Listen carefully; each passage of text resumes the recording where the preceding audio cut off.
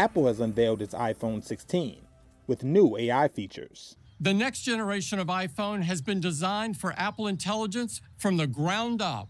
Apple Intelligence is the name of the company's artificial intelligence software. It'll be used to improve Siri, Apple's personal assistant, as well as enhancing camera features. Apple Intelligence marks the start of a new era for Siri and makes it more natural, more contextually relevant, and more personal to you.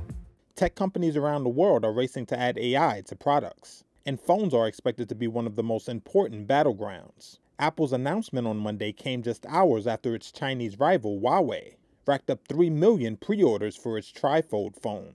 Instead of seeing the first couple lines of your emails, you'll see summaries that convey the most useful information.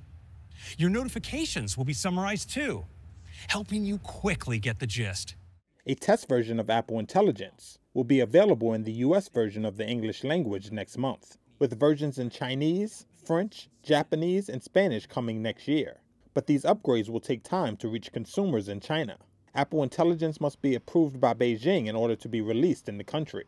Last year, iPhones accounted for more than half of Apple's $383 billion sales. Apple is betting that the AI feature will drive consumers to upgrade, as it sees a slowdown in iPhone sales.